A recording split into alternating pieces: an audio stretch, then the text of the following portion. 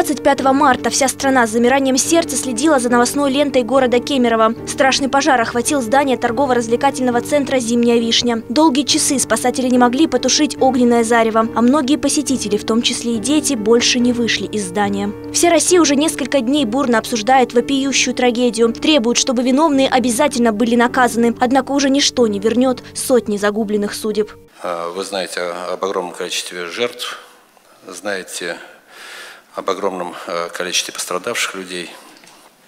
Не случайно президент э, нашей страны э, сейчас находится в Кемерово, проводит соответствующие заседания, дает специальные поручения для того, чтобы не только разобраться в первопричинах этой страшной трагедии, но одновременно чтобы выяснить причины и условия, которые способствовали совершению Э, данного страшного э, происшествия. Ульяновцы не остались в стороне от всеобщей беды. Со вчерашнего дня в память о погибших к скверу Гончарова несут цветы и игрушки. А сегодня прошел митинг. Жители пришли не бастовать, не выяснять отношения и не говорить о политике. Они пришли просто помолчать и помянуть тех, кого забрало страшное пламя.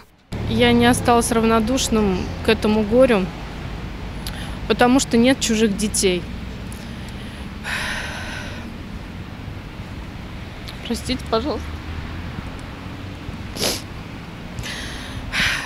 Мы пришли с детьми, чтобы выразить свое сочувствие, э, сказать о том, что мы скорбим вместе с теми людьми, которые потеряли, потеряли своих родных, близких. Я объяснила тоже детям, для чего мы здесь. Ну, понятным языком для них. Они тоже это знают, почему мы сюда пришли. Сейчас вот мы со школы пришли, ну, большая часть людей пришли выразить свою солидарность с теми людьми, кто выражает соболезнования всем погибшим. Мы надеемся, что виновные будут наказаны, и дай Бог, чтобы такой трагедии больше не повторилось.